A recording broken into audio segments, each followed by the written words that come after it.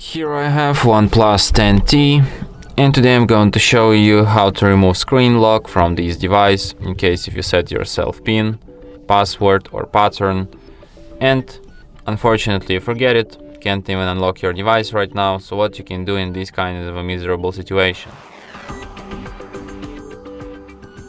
So firstly what you have to do is to turn off your device by holding down power key plus volume up, then swipe power off and then hold down combination of keys power key plus volume down at the same time for a couple of seconds like this. And after the screen turns on and OnePlus logo appears you just release power key and keep holding only volume down.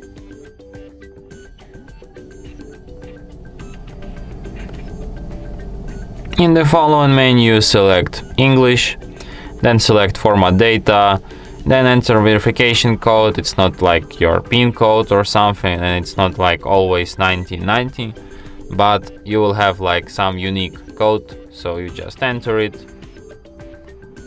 format data confirm it. After a few seconds all the data from, from your device will be deleted including your lock screen password.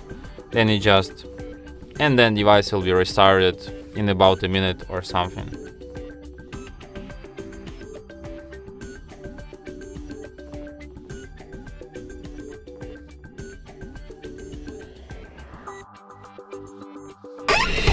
And that's it. Thanks for watching.